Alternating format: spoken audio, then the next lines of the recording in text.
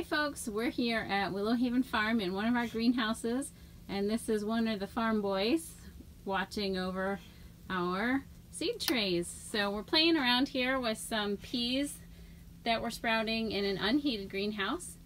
Here's an update on our kale and our lettuce and you can see that we have germinated and we have little tiny sprouts going.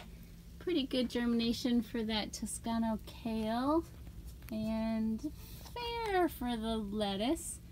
And then we have um, shallots and leeks that have been started in these open trays.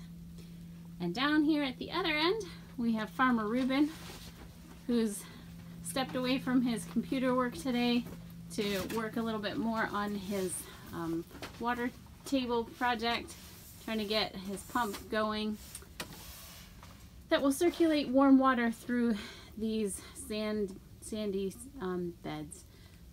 But really what I wanted to do was show you the beautiful snowfall on the farm.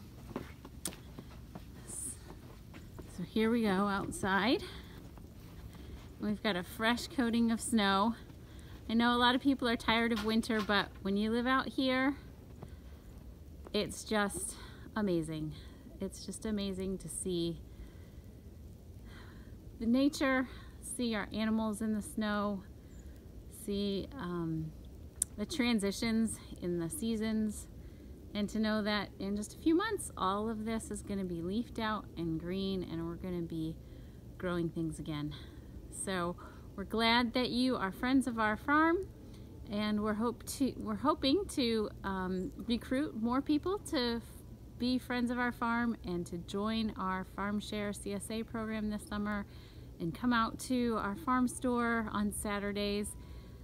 So if you are interested in finding out more about us or you really want to sign up for a Farm Share CSA during um, National CSA Sign Up Week, go to our website www.willowhavenfarmpa.com and click on the links to find out more about our CSA and also subscribe so that you can get our cheat sheet for um, how to find out if a farm share CSA is right for you.